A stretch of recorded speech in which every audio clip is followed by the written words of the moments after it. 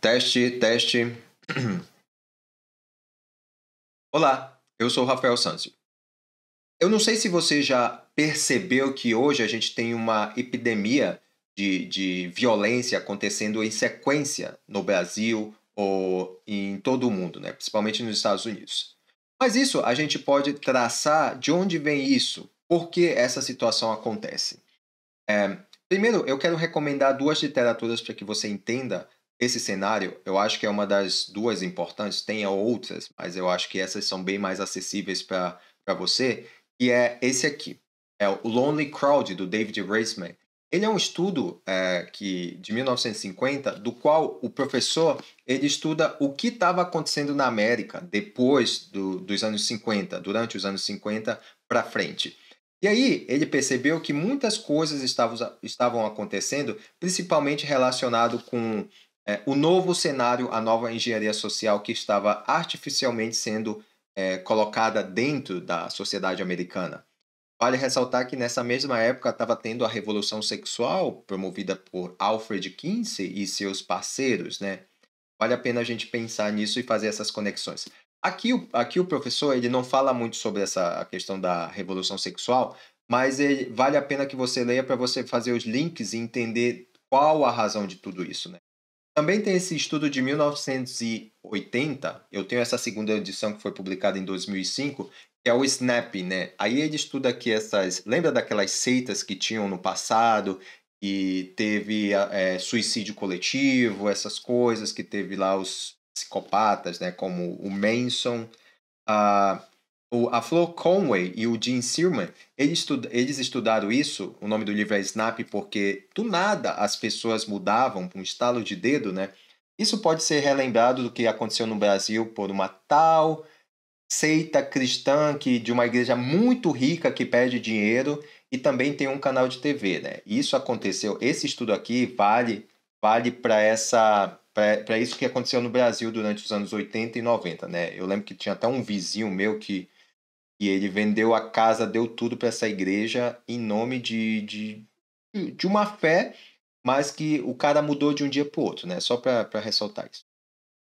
Bom, para a gente perceber essas coisas que estão acontecendo hoje, principalmente relacionado a, por exemplo, movimento negro e principalmente ao, ao movimento LGBTQ, que é uma das minhas expertises no momento, é, você é, funciona nessa mesma situação, nessa mesma do efeito snap, né? As pessoas têm sido bombardeadas por informações e pela sociedade estar muito débil mentalmente, sem segurança. Você vê muitas pessoas inseguras, é, autoestima baixa, elas são facilmente capturadas pelos tentáculos dessas ideologias. E adivinha através de que essas, essas pessoas também são capturadas? Através das redes sociais, obviamente por onde eu estou falando com você. Mas você precisa entender que as redes sociais elas têm sido a consequência de tudo isso que tem acontecido. Quer dizer, elas têm sido usadas para programar as pessoas. Né? Antigamente as pessoas eram programadas apenas através da mainstream, da, da mídia tradicional, que eram pessoas passivas, só recebiam a, a informação. Mas hoje, obviamente, as redes sociais ela têm os seus malefícios, mas também tem os seus benefícios do, dos quais as pessoas podem reagir contra essa situação, né? No entanto, o que a gente vê é as ideologias políticas sendo aplicadas dentro dessa situação, né? Principalmente as, as ideologias que vêm da esquerda, né? Ah, que tem promovido a liberação sexual, né? O professor, uh, o professor David Brisman, lá nos anos 50, ele percebeu isso. E no Snap, ele estudou pessoas vulneráveis que sofreram bastante pressão, por exemplo, as pessoas que vinham da guerra, as pessoas que passaram pelo, lá pelo, pela União Soviética, que sofreram na mão da KGB. Ele também fala da dissonância cognitiva lá do Leon Festinger, que, que, que publicou esse estudo em 1952. Bom, mas vamos, vamos para os dias atuais hoje. Uh, eu vi uma reportagem, eu vi um vídeo do, uma pessoa que estava programando fazer um assassinato de massa numa escola no Brasil ela recebia orientações pelo Discord, né? O Discord é uma plataforma de redes sociais como o WhatsApp, mas só que ela é mais segura porque ela não coleta as suas, os seus dados como o WhatsApp faz, porque o Facebook ele pega os seus dados e vende para para empresas criarem, criarem cenários matemáticos para inserir você lá e você ficar vivendo dentro daquela bolha. Mas é preciso você entender isso para que você perceba que a, você tem que ter muito cuidado com seus filhos. E principalmente hoje os pais, não só os filhos, mas hoje os pais são muito, muito enganados. O que aconteceu no passado, lá na época do feudalismo, lá nas grandes guerras do passado, isso acontece hoje, mas de forma velada ciberneticamente falando. Por quê? Porque é muito mais fácil de dominar as pessoas através da revolução cultural. Eu falei um pouco disso no meu livro, não sei se estão vendo aqui. Eu até recomendo que vocês adquiram esse livro. E a guerra política, a guerra ideológica, usa justamente essas pessoas débeis que estão suscetíveis a, a qualquer tipo de ideologia. Eu vou colocar aqui um vídeo da, da secretária da Casa Branca, Jean-Pierre, falando uma coisa absurda. Vou colocar aqui para você. want their freedoms to be taken. They want us to fight for their freedoms. And so it is shameful, it is disturbing, and uh, our hearts go out to uh, the, those, the trans community as they are under attack right now. But this is a president who has said many times before he has their backs, he will continue to have their backs, uh, and he will continue to fight for them. Você viu como as coisas funcionam? Uma pessoa trans entra numa escola e assassina várias crianças. Ah, isso aconteceu no mês passado.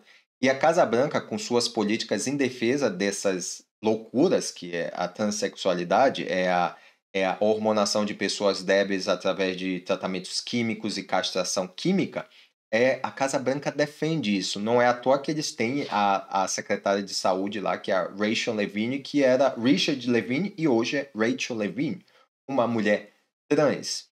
E fica claro que isso é em nome de política, não é em nome das pessoas. As, eles não estão muito preocupados com a saúde mental e não a, nem a saúde física das pessoas, senão eles estariam preocupados das consequências que isso acarreta à vida dela. O professor David Kupelian, ele publicou esse artigo ele tem vários artigos, ele tem, uh, ao longo de, de, duas décadas, ele sempre escreveu a respeito dessas coisas que têm acontecido, e esse artigo ele foi publicado em 2019, mas ele tem um, um artigo falando sobre isso de 2010 que fala o quanto as pessoas estão loucas na, lá nos Estados Unidos, e isso tem sido romantizado. É, é de interesse do, do poder político do Partido Democrata fazer com que essas pessoas doentes cheguem a ser influência na, na sociedade. Tem outra senhora aqui também falando aqui. Então, esse é outro é o outro artigo do, do professor David Cupellia. Olha só, como tiranos e lunáticos estão escravizando os americanos e redefinindo tudo. Uh, esse aqui é o que eu queria falar. Laura Hollis. Uh, a Epidemic of Daniel. Vou traduzir aqui para você. Uma, epide uma epidemia de negação, doenças me mentais em adolescentes. Mas esse aqui também é importante que você leia. Isso é do The Wall Street Journal. Ele mostra o tanto de pessoas que estão entrando nas universidades e que já entram com problemas mentais. E se você não sabe, é, se uma pessoa a maioria dessas pessoas que se autodeclaram trans, elas têm problemas mentais. E quando elas chegam na universidade, pela romantização e o autodiagnóstico, elas recebem diretamente hormônios sintéticos, e o que piora a saúde delas.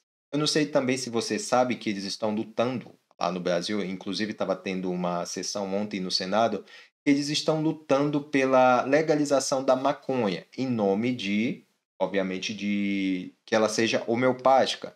Mas você sabe que eles não querem isso, né? Eles realmente querem que a maconha seja legalizada para que as pessoas se tornem ainda mais escravos dessas ideologias. Como? Porque elas vão perder a razão. O que a droga faz é tirar a razão das pessoas e, consequentemente, elas vão ser muito mais fáceis de ser induzidas a crime. E quem é que aparece para solucionar tudo? O Estado, né? Onde é que eu vi falar disso? Né? Assim, é, lá na União Soviética. Né? Ah, e é isso. Para você entender todo esse cenário, obviamente que isso é, é muito mais profundo, você entenda essa situação, você precisa estudar o passado para compreender o que nos trouxe até aqui. Né? Um dos pontos desse vídeo que você deve saber é que as redes sociais são responsáveis disso. Isso não nasceu artificialmente, isso é uma engenharia social muito bem é, financiada, muito bem é, patrocinada, que vem desde os anos 50 com a Revolução Sexual. Né? É, em uma sessão desses artigos aí que eu mostrei para você, as consequências de que as pessoas estão doentes hoje é justamente porque elas não têm pai e mãe, né? Lembra do feminismo e da revolução sexual? Ninguém é de ninguém, mas daí vem as consequências. Muitos abortos, crianças abandonadas, crianças com problemas mentais, mulheres sozinhas e também com problemas mentais, homens drogados e por aí vai. Isso, isso pode ser muito bem mapeado e entendido quando a gente percebe a, como a gente está vivendo hoje. Se você tem alguma dúvida, deixa aí nos comentários, é, manda esse vídeo para alguma pessoa que você acha que deve saber sobre isso. E se você quiser colaborar com o meu trabalho, adquira o meu livro que está disponível pela editora Letra Capital. O link está aí nas minhas redes sociais, no Instagram e também pela Martins Fontes e na Amazon, tanto no Brasil como internacionalmente. E não esqueça de dar um like. Meus conteúdos estão mais no Rumble porque esses conteúdos no YouTube eles não duram muito tempo. Tenha um bom final de semana e tchau!